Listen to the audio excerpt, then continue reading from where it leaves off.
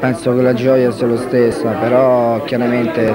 eh, essendo romano posso sentire un pizzico in più, mm, ma nient'altro, perché anche se sono romano